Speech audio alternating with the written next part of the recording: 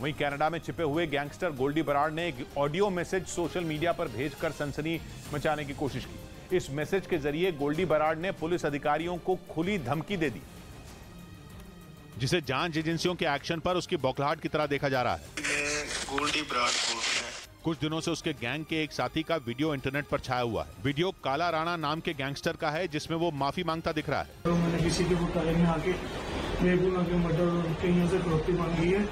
मुझे माफ कर दिया जाए ये वीडियो इंटरनेट पर जैसे ही वायरल हुआ गोल्डी बराड़ के गैंग के बेदम होने की बातें होने लगी यही बात गोल्डी की बौखलाहट की वजह बन गई उसने पुलिस अफसरों को धमकाने के लिए मैसेज जारी कर दिया ਜਿਹੜੇ ਅਫਸਰਾਂ ਨੇ ਕੀਤੀਆਂ ਨਾ ਸਾਨੂੰ ਉਹਨਾਂ ਦਾ ਪਤਾ ਹੈ ਲੇਟ ਹੋ ਜ਼ਰੂਰ ਹੋ ਸਕਦਾ ਕੰਮ ਕਿਉਂਕਿ ਅਸੀਂ ਗਲਤ ਨਹੀਂ ਕਿਸੇ ਨੂੰ ਮਾਰਨਾ ਚਾਹੁੰਦੇ जिस काला राणा का वीडियो इंटरनेट पर आया उसे पिछले महीने एनआईए ने देश में कई ठिकानों पर एक साथ रेड करने के बाद गिरफ्तार किया था लोग अपने आप से भी युद्ध करने से डरे लोग अपने आप से भी युद्ध करने से डरे, अपने अंदर के घमासानों में मरने से डरे।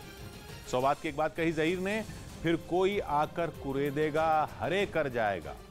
इसलिए भी तो हमारे जख्म भरने से डरे। मिलते हैं कल, घड़ी जब इशारा करेगी नौ बजे रात का, वक्त फिर होगा।